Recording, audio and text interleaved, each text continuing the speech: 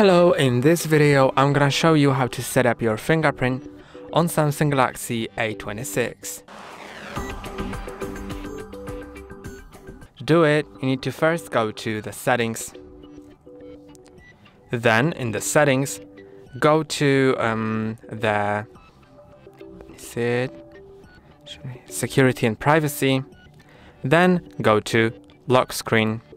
Now go to fingerprints and here you need to first enter your screen lock that you have currently set.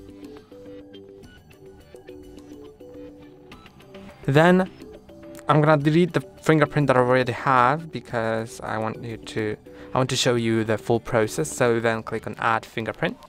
Now click on continue and then place your finger on the side of the phone because the fingerprint sensor is here on the right side Tap it and release multiple times so it scans your finger multiple times and remember to move your finger between it scans so it scans the whole area of it.